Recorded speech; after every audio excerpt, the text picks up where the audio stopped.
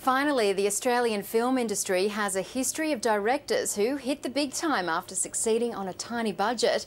The cast and crew of a thriller, now being filmed at Broadbeach, hope their humble beginnings will open doors to lucrative Hollywood careers. Scene 58, shot two, take one.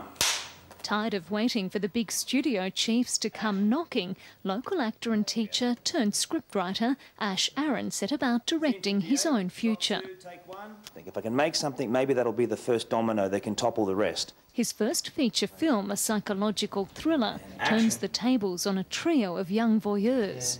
This penthouse that they're staying in is actually full of hidden cameras. So they, in fact, are being watched. So hence the title of the film is ICU. What is your problem? My problem? Dad's the one who's supposed to be proving to us how much he's changed. Aspiring starlet Margot is combining a punishing film schedule with Year 12 studies. Uh, start filming at about 5.30 as soon as it's dark enough. We film right through the night till like 2.30, 3 o'clock. And while their budget may be the lowest of the low, their dreams are sky high. Hopefully straight to LA, Hollywood what I can do with a million dollars.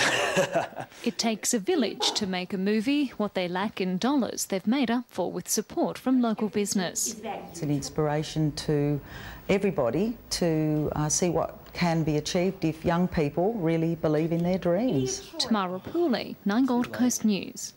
Best of luck to them. That's Gold Coast News. Bruce and Heather along next with National 9 News. From all the team, good night.